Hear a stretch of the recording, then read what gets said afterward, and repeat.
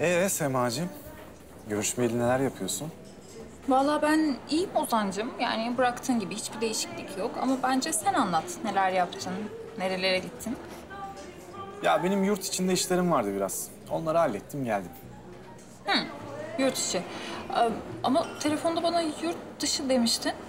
Ya yurt dışı, yurt içi. Ya ikisini de bir arada hallettim geldim işte. Aman boş ver. İş iş işte. Sıkıcı şeyler. Biliyorsun. İş konuşmayı sevmem ben. Biliyorum. Sevmezsin iş konuşmayı. Neyse işte ben de sana ulaşamayınca Orhan amcayı aradım. Ama ona da ulaşamadım. Ha, babam değil mi? Babam.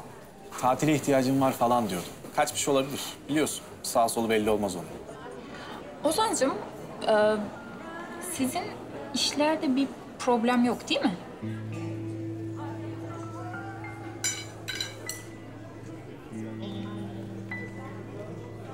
Var aslında.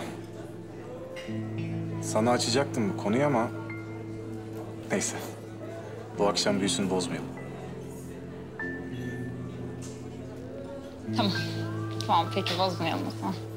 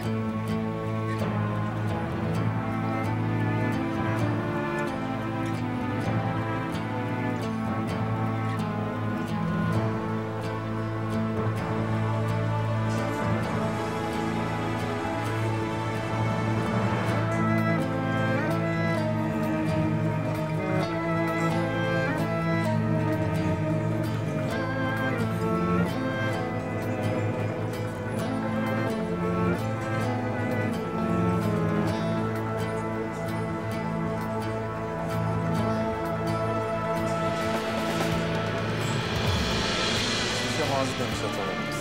Değil mi? Geleceğimiz için.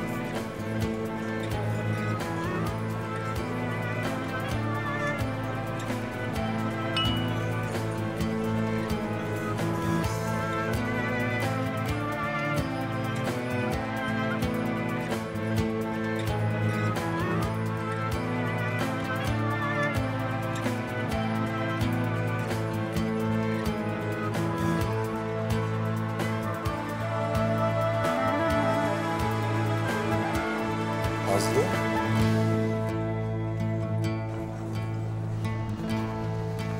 Nazlı, Nazlı dur.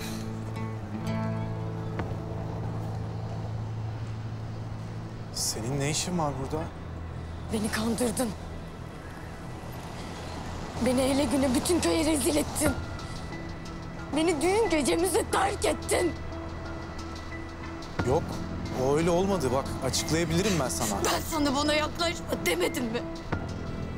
Bana kalbimi kırma, beni incitme demedim mi? Nazlı, bak gerçekten zor durumdayım. Yemin ediyorum ki büyük kriz var. Ben gördüm az önce senin nasıl zor durumda olduğunu. Ona da mı aynı yalanı söylüyorsun? Nazlı öyle bir şey yok ya. O benim arkadaşım. Çocukluktan beridir yani arkadaşım. O şehirli tabii.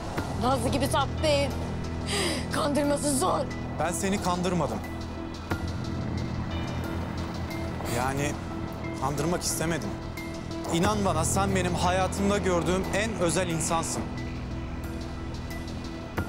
Ben seni çok Sen beni çok, çok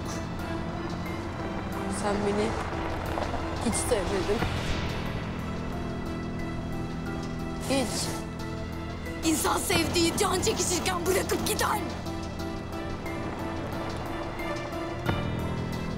Al. Benim için artık bir çöp kadar değer yok. Nazlı.